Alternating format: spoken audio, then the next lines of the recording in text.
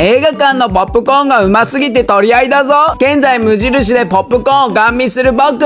今日はなぜか無償にポップコーンが食べたい。無印もいい。でも映画館のポップコーンのうまさわかる人いない。どうしてあんなに映画館のポップコーンってうまいの？迷うけどどうせなら美味しい方が食べたい。ということで今日は映画館のポップコーンを買いに行きたいと思います。僕が好きなのは味が2種類になってるやつ。ありがちなのは片方がキャラメルでもう片方がノーマル他にも目移りしちゃうけどポップコーンだけで今日は我慢する早速お家に帰ってきて食べてみるうまっでもなんか物足りない。うまいはうまいのに。おそうだ、映画が足りないんだ。やっぱりポップコーンと言ったら映画がセットでしょ。ということで今日はこいつで決まり。よろしくお願いしま